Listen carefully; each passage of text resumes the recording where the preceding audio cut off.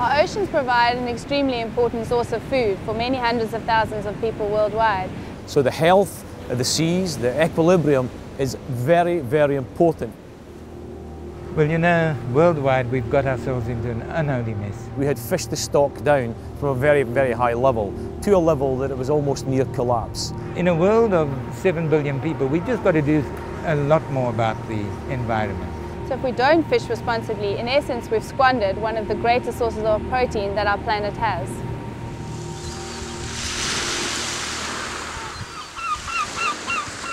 Between 1997 and 1999, the MSC consulted over 200 scientists, environmentalists and stakeholders to create the MSC Environmental Standard for Sustainable Fishing, a set of principles and criteria against which the sustainability of a fishery can be judged.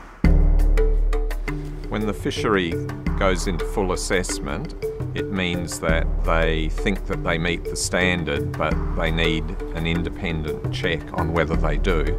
So the fishery has to employ a certification body who employ in turn a team of experts to come in and ask questions about the fishery and assess its performance against a set of scoring indicators that relate to the, the three principles. To be certified as sustainable, a fishery must meet all three of these core principles. The first of these is that fish stocks and the amount of fish being caught are maintained at sustainable levels. Amongst ourselves, we decided that we had to reduce the number of birds, and we introduced an effort limitation scheme, which has later been adopted by the government. We maintain our own in-house scientific program. We employ a number of scientists. We've introduced monitoring systems so that around about 1990, 92, we had reached maximum sustainable yield. And we've operated very stably since then. Secondly, the fishery must minimize its environmental impact and not jeopardize the supporting ecosystem. It's just as important that other species in the ecosystem continue to flourish, as well as a species that is the main target of the fishery. By the standard incorporating elements bycatch, food webs, habitats, the seabird bycatch on the one hand has been significantly reduced was a, a, really big challenge facing the fishery. About 18,000 birds were killed per year. In particular, albatross mortality has been reduced by 85%, so a really significant win that was facilitated through the MSC certification. And finally, the third principle demands that there is an effective fishery management system in place. This ensures that the fishery meets all legal requirements, such as national and international laws, but also increases the fishery's resilience by ensuring that the management system is capable of responding to any changing circumstances. We needed data on everything in terms of the management, in terms of were we now behaving as we say we were, were we being as selective as we said we were.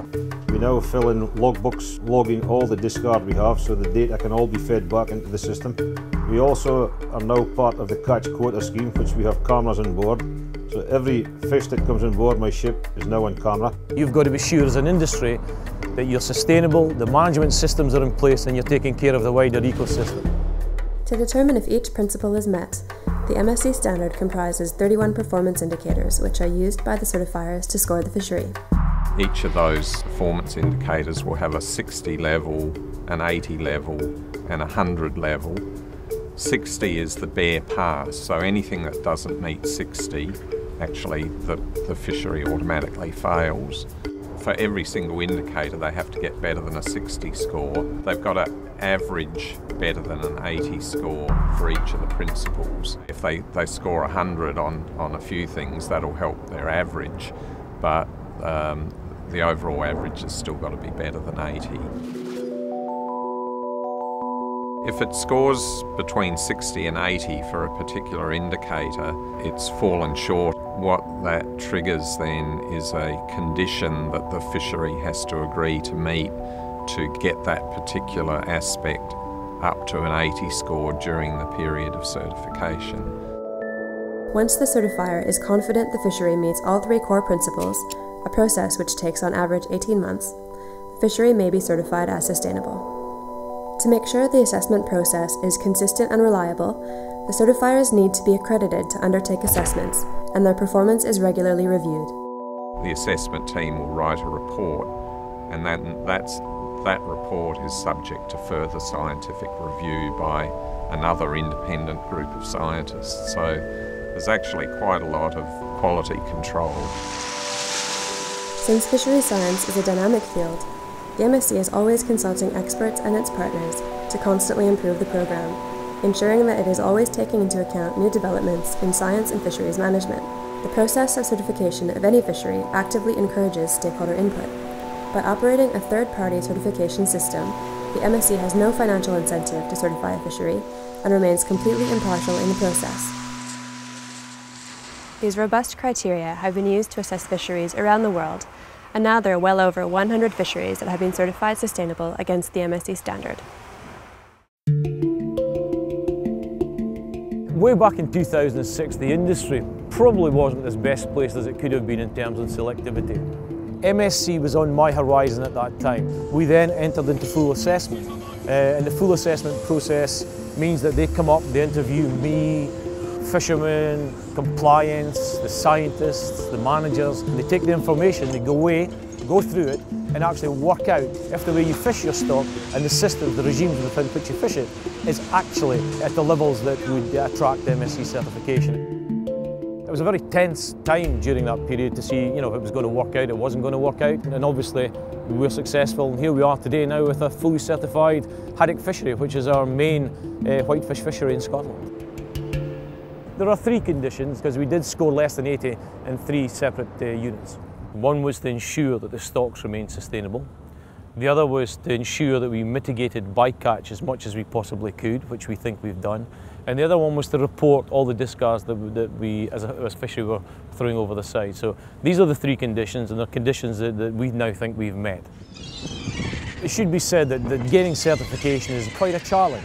We always say up in Scotland now we're doing the right things, so having the MSC status for, for haddock allows us publicly to demonstrate that. But not only that, it's allowed the people that we sell our product to to sell it to the marketplace as MSC certified. So it's opened up new product lines and new business for the area. We were first certified in 2004 and certified again in 2009. When we were first certified, the fishery was at its highest ever peak. Since then, we went into quite an acute decline. However, over the last three or four years, we are climbing out at a tremendously rapid rate. The recovery, I believe, is quite incredible. And I believe it is largely due to the measures that we've taken under the umbrella of MSC certification. And really, if we apply the MSC principles, they give us everything we want to operate sustainably.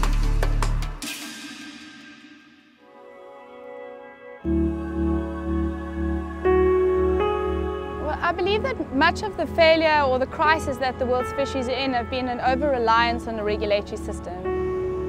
What the MSC has provided is a, is a much needed incentive. Fishermen will follow the market. If you develop a, a premium market for sustainable fish, they will have to go there. The other thing that it's done is shifted the burden of responsibility from squarely lying on government shoulders to somewhere between government and, and the fishing industry. The MSC certification has actually become part of the way we do business, part of the way we think, I think what we often forget is that our oceans belong to all of us, all the way from seafood consumers, restaurants, retailers, fishermen, government, policy. We all have that collective responsibility. Our challenge now is actually to return equilibrium back to the seas, make them healthy so we have something worthwhile to hand to the next generation. We need a future in front of us. We're fed up of going up and down, up and down. We want a bit of continuity.